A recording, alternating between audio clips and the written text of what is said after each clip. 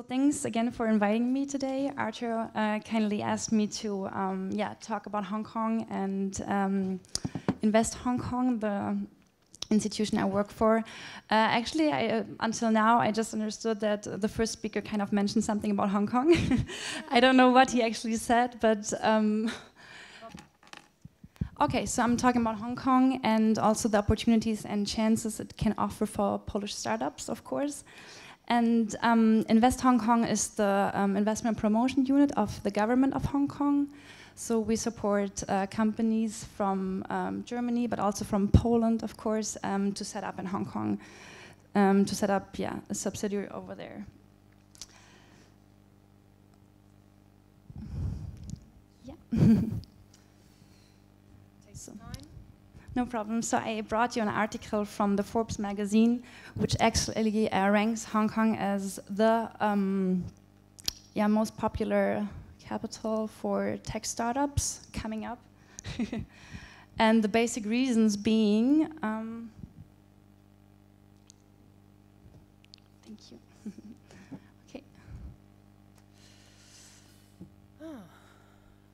okay. Okay.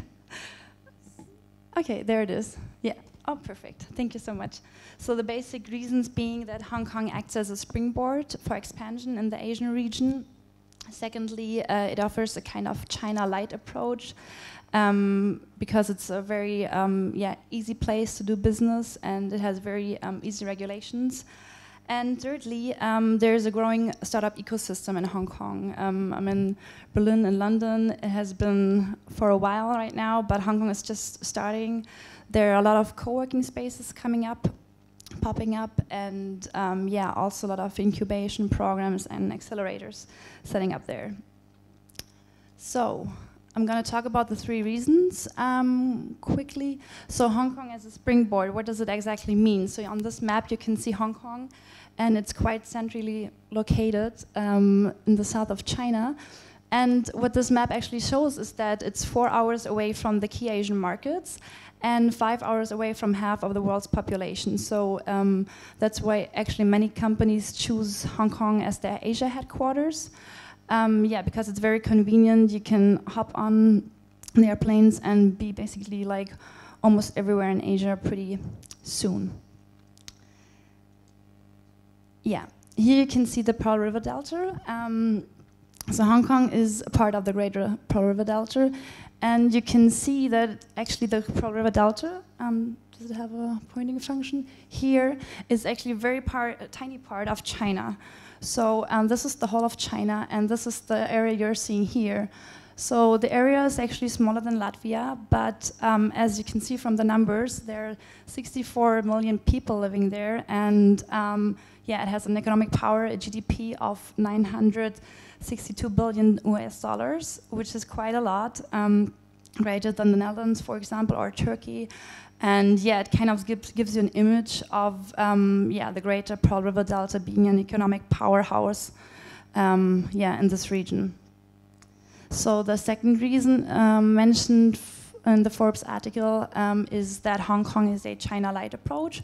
What does that mean exactly? I don't know if you guys heard about um, the one country, two systems regulation. So Hong Kong actually belongs to China um, right now, but it still has its own um, economic and political system, which means that English, for example, is an official language in Hong Kong. Also makes it quite easy for companies to set up there compared to China. Um, Hong Kong has its own currency, its own legal system, and um, also separate immigration laws compared to China. So it means that they can issue their own passports, for example.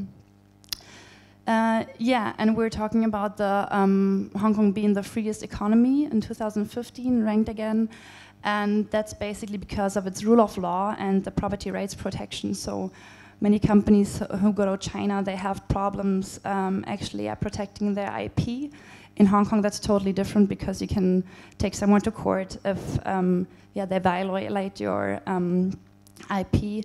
And there's no limit on foreign ownership, which means that every foreigner can set up a company there and invest in Hong Kong. Yeah. And the third reason, ah, no, sorry, there is an Asian comparison about the uh, tax system. So you can see here that um, Hong Kong, compared to Singapore and China, has quite uh, low tax rates. So it's a very transparent system. You can see that um, the corporate um, gains tax is 16.5% and an income tax of 15% flat. And uh, yeah, there's, for example, a no sales tax, uh, no capital gains tax, which also makes Hong Kong very attractive, of course, for, for foreign companies. Yeah, and the third reason being that Hong Kong has a growing startup ecosystem. So you can see that um, by now there are over 20 funding schemes for companies, no matter where they're from. So also as a Polish company, you can just go there and apply for funding. Um, there's no discrimination against uh, foreign companies, so to say. And also, by now, they have 34 co-working spaces um, compared to in 2010, it were only three. So kind of tells you that there's like a really rapid development. And that's also quite important because um, I don't know if you've heard about the high rents in Hong Kong, which is kind of an obstacle for a foreign company. But um, yeah, co-working spaces kind of make it easy to set up because you can just start from the scratch with, um, I mean, you know how co-working spaces look like. You can just have a desk and kind of like try and start there without actually having like a super expensive office space. Yeah.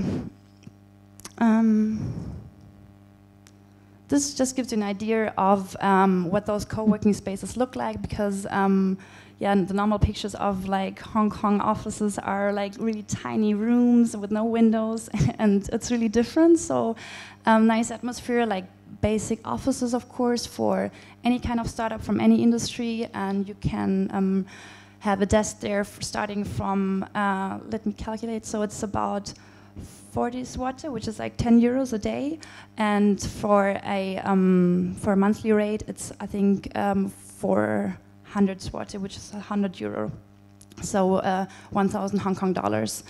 But also like for um, yeah, companies producing more physical products. Yeah, um, they're like for crafters, tech company, companies, of course, but also for um, fashion and design companies. There are spaces there. Yeah, just a quick um, uh, view on this slide. It kind of shows you, okay, uh, by now there are uh, 1,553 startups um, incubated in those programs, so it's even more altogether. And uh, the number of startups that we have supported, um, not only from the Berlin office, but from all over the world, is, has um, risen by 77%, which is quite a lot, I think. So um, yeah, these are just like uh, I picked four of them of the private sector incubators. Um, yeah, they differ in what they do. So Nest is um, quite popular. It provides mentorship and funds. Um, for equity, they do um, seed capital, but also um, yeah, further investments and growth support programs. And uh, yeah, the blueprint, for example, is a um, it's a very new program which has started in the beginning of the year. Um, yeah, it has a co-working space as well, and um, it's a B2B incubator. So if you take part in the program, you can have free office space for a certain amount of time. Uh, the Brinc incubator is pretty um, popular because it's an IoT accelerator, so it kind of like bridges the, um, bridges the gap between uh, software, hardware, and services and it kind of takes the the startup from the whole journey, um, from starting from incubation uh, to distribution and sales. Um, and later on, I will introduce a company who actually has set up in Hong Kong um, with the help of the Brinc Incubator. Uh, fintech, it kind of says uh, already what that's about. So it's Accenture FinTech um, incubation program, um, which uh, yeah takes startups um, supporting like banking and finance innovation from uh, New York over London to Hong Kong. And because Hong Kong um, had a very strong financial industry in the past, and of course those banks also need innovation, uh, fintech companies are pretty popular in Hong Kong uh, and really, yeah, are a thing there right now. Um, just a quick view on this one. Um, it shows um, one of the um, science parks, which has like it's a publicly funded um, scheme, and depending on which um, sector you're from, so are you actually offering just um, a tech device or are you in biotech or um, an app-based company, you apply to one of those different schemes, and they also you can see that they differ in their duration period, also the um, premises and the financial aid you can actually get. So that kind of depends uh, what you're into. Um, Cyberport is kind of similar. It um, applies more to, um, yeah, um, yeah, how to say, I ICT companies probably, yeah, that's the best way to put it. And um, depending on if you're really like located in the cyberport or have an offsite um, interest, meaning you work from somewhere else, but still take part in the program, you can see, okay, different uh, aspects apply. Yeah, and um, we also have a startup uh, competition going on. It starts in, or it takes place in January. Um, and it focuses on the four uh, sectors you can see here. So it's fintech, health tech, IoT, and data analytics and e-commerce. So um, it's a whole week of um, yeah workshops, conferences, um, seminars, also competition, which gives uh, foreign startups, of course, like a great opportunity to uh, pitch to investors, um, get to know the scene, meet uh, interesting people who kind of are already in the network, and yeah, you can learn from their first-hand experience. I think it's quite um, exciting project. And uh, this is the company I was just talking about. It's a Berlin startup. It's called um, Feel the Beat. And they developed a smart controlled, a smartphone controlled um, metronome for uh, musicians to uh, yeah, feel the beat while they're playing. And um, they were actually looking for pretty uh, specific motors like engines, which had to be small but still effective, like 600% um, stronger than a smartphone. And they couldn't find that in Germany, so they were uh, asking around, and there were only two companies offering like those specific engines. And so they said, "What the hell? we're going to Asia." And then they went to China, and um, just the area I was talking about before. Uh, if you just go across the border from Hong Kong to the mainland, there's Shenzhen.